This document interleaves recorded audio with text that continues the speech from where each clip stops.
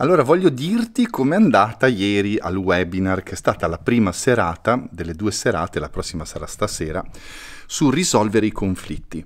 È stato molto bello, è stato molto bello perché mh, c'è stato proprio lo spazio per aprire le tematiche relative allo studio della mente reattiva, perché la mente reattiva è il problema fondamentale di tutti i problemi. Okay? Se vuoi risolvere i problemi devi occuparti della mente reattiva.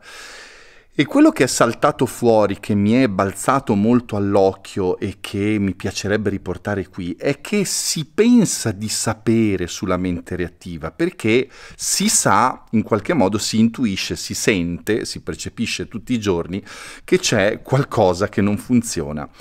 Ma un conto è questo sentire, un conto è studiare capire e avere un metodo per risolvere la mente reattiva. Questo è il punto, perché solo sapere e sentire, fare le proprie battaglie quotidiane non ha nessun senso, perché è come lottare come un, contro un titano, contro, un, contro l'Everest.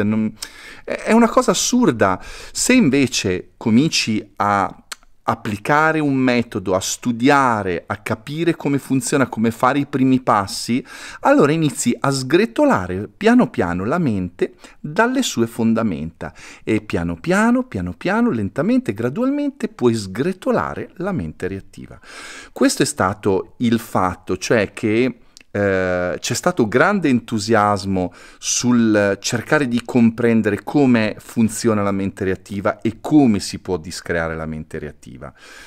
Quindi io ti invito questa sera, se vuoi, a salire a bordo della seconda puntata di questo workshop in due incontri, dove parleremo ancora di risolvere i conflitti e questa sera ci occuperemo prevalentemente proprio delle relazioni.